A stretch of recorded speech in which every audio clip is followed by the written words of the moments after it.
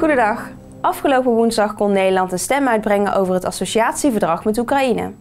Zo ook in Tilburg, wat met nog net geen 23% de laagste opkomst van Nederland kende.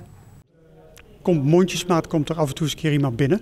We zitten hier vlakbij het uh, station in Tilburg, waar al vrij vroeg het stembureau open was voor mensen die naar hun werk gingen. Daar is het wat drukker geweest. Maar we hopen hier dat na de, dat de mensen terugkomen van hun werk, dat er hier toch wat meer mensen gaan komen. Er zijn 70 stembureaus in Tilburg, inclusief het station dan. Dus uh, ja, het is uh, weinig. Ik heb heel lang getwijfeld, omdat het referendum is toch anders dan alle andere verkiezingen, stemmingen. Maar ik vind het toch belangrijk. Ik heb voorgestemd omdat ik stem vanuit het vertrouwen.